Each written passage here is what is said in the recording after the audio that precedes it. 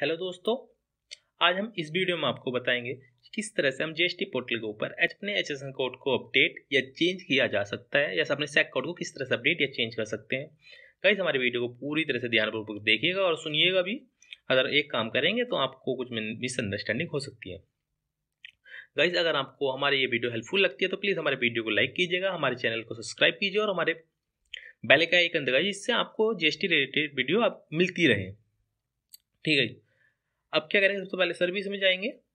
Service में जाने के बाद रजिस्ट्रेशन रजिस्ट्रेशन में जाने amendment of registration non core field में जाना है। ध्यान है नॉन कोर में जाना होगा। नॉन कोर में जाने के बाद ये हमारा देखिए ओपन हो रहा है। अब जाएँगे, इसमें हम ये ब्लू करके टैब आ रहा है। गुड्स एंड सर्विसेज़ का। ये देखिए गुड्स एंड सर्विस टैब में चले गए। दैन इसमें हमारे पहले से ऑलरेडी पाँच एजेशन कोड होते हैं। पाँच ही इसके अंदर हम फिल कर सकते हैं और पाँच सैक कोड फिल कर सकते हैं। देखिए, मैं सैक कोड भी दिखा देता हूँ। इसमें ऑलरेडी हमारे पाँचों के पाँचों सैक कोड फिल हैं।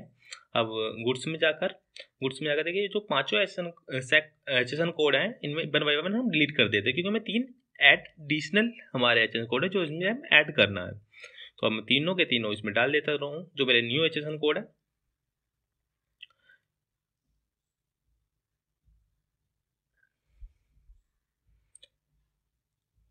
देखिए मैंने तीनों को डाल दिया है। तीनों को डालने के बाद सेव एंड कंटिन्यू करेंगे। Then continue then save and continue then click करेंगे, अपना सेलेक्ट कर लेंगे ऑथराइजेशन को और अपना प्लेस डालने के बाद हम सबमिट विद ईवीसी या जो डिजिटल सिग्नेचर करते हैं डिजिटल सिग्नेचर से जो ई सिग्नेचर से करते हैं ई सिग्नेचर से कर सकते हैं। हम ईबीसी से कर रहे हैं यहाँ पर।